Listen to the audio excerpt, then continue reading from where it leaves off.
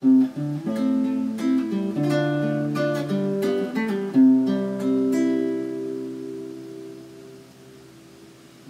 pan que del cielo baja es comida de viajeros, es un pan para los hijos. No hay que tirarlo a los perros. Isaac el inocente es figura de este pan de Pascua y el misterioso maná.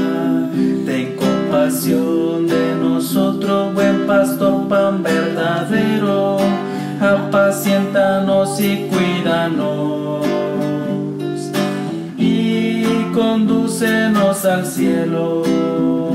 Todo lo puedes y sabes, pastor de ovejas divino, el